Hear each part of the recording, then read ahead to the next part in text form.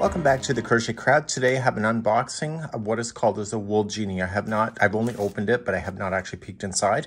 So it's an authentic first impression and we're gonna give this product a try. Saw it on TikTok and I had to find it and I found it on Amazon and let's go. So let's take a peek.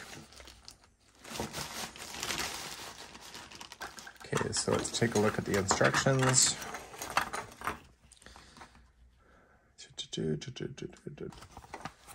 Okay, here's what it looks like. Magnetic pendulum. Let's see where everything goes. Okay, so the instructions seem pretty clear. So says to remove the clip out. Okay, and then we'll do this here. So we'll stick this here.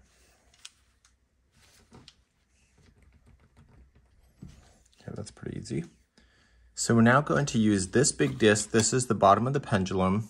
This here is going underside of the pendulum into this spot, and then this clip is gonna hold it. So the first thing you need to do is you need to take the top of this and you need to slide this into here, all the way down. Turn it like this, and you're going to take this and with the clip, this so it stays flat on this side. You're gonna take this, this is gonna lock everything into position so this will hold and just slightly just use your thumb and just kind of push it on. And once it's on, just slide all the way in and it will find that groove and it will click. And so the bottom of your pendulum is done. You're gonna take this piece and just slide it in and push down. Then you're going to take the bar that you have and you're going to just slide it in. And it's just going to rest.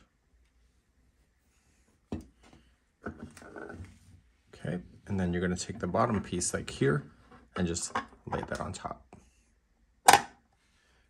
Now the magnet is actually sitting right in the interior right there. And so when you get it close, you'll hear click and it will just dangle like this.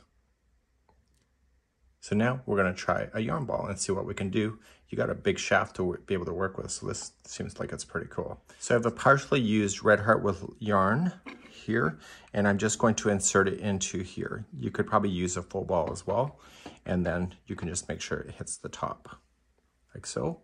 And let's see if it clicks and does it hold? So the problem is here is that it'd probably be a little bit too high. So you'd want to make sure that the loose end for the interior is kind of tucked out of the way, like so. But then it means that the exterior is available to you. So it's pulling, but it's obviously a little bit too long. So this would not be a great product for that. So let's see what else we can do with this product. So I'm gonna try again, because chances are I will use a ball like this. So I'm just gonna squish it down more compact and just put this in.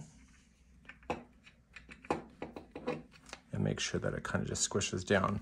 So the goal is, is not to impede with the top. So let's try it again. So that works. So now, when because it's magnetized, it's just freely flowing. So there is absolutely no friction from this thing. Look how it just keeps on turning. So this is one of those ones where it's not literally gonna pull off of the table uh, for any friction that you have. So this is winning my heart already. Hmm. So let's try something else. Caron Ripple Cakes. Let's slide off the ball band. Let's just say I want it to work from the outside of the ball. So once you get it, just push it down. So this is actually a heavy ball. So let's just test it. And look, there's no interference in the back bar and it's just flowing perfectly. This is a 10 out of 10 product. Look at this. I could just spin it like that too.